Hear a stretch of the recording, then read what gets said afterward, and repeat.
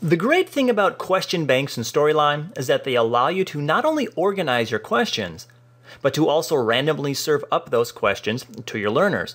For example, I would like to create a randomized quiz where my learner will see a different set of 10 questions each time they take the quiz. And maybe I would also like to choose five questions each from two different categories. To do so, if I have my question banks established, I simply do a draw from question bank number one, randomly choose five questions from that question bank, and one more. Go to question bank number two, and draw five random questions from that question bank. And that simply, I have just created a randomized 10 question quiz. Simple to create, but the first step, however, is to create our question banks, and that is what we will cover in this tutorial. I'm here in Storyline's Story View, and I've gone ahead and opened up a fresh file. Up here in the Scenes category, you'll notice the Question Banks icon. From here, I have the ability to both create and manage my question banks. As you can see, Storyline already has a default question bank called Question Bank 1. Now I could choose to open this question bank and begin populating it with questions or create a new question bank. I'm going to go ahead and do that now to walk you through the process.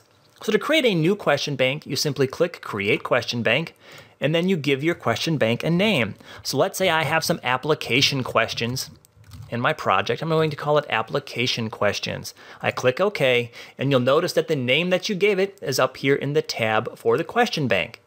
Now I can begin populating this question bank with questions. I can create graded questions, survey questions.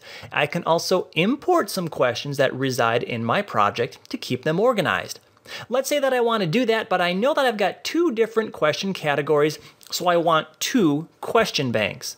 Well, I could go through the process and create a new question bank like I just did. However, I do have this default question bank already existing, so all I have to do is rename that. To do so, I select question bank number one, and I could rename it by either going to my Manage Question Banks area and renaming the selected question bank, or I can simply double click in the tab and call this Recall Questions. There we go. I have my two question banks, and again, I could begin populating them from here by creating new questions or using the links down here to create questions as well. What I'm going to do though, I do have these questions that I started to create over here in this quiz scene. I would like to bring them in to keep them organized into my question banks. So I simply do this. Application, question bank, import questions. When I do so, it'll show me all of the slides in my project. And let's say these three questions here are my application questions. I can choose to either copy them over to my question bank, which will leave them out there in that scene, or move them into my question bank, which is what I will do right now. I select OK, and you'll notice that they are no longer out here in this scene. We have these three, which I want in my recall question bank, so I will import them. One, two, three, and move them into my question bank. I click OK. And now you'll see that they no longer reside here. They are indeed in my question banks. And my question banks are now created and ready for me to use. And that's all there really is to creating question banks in Storyline.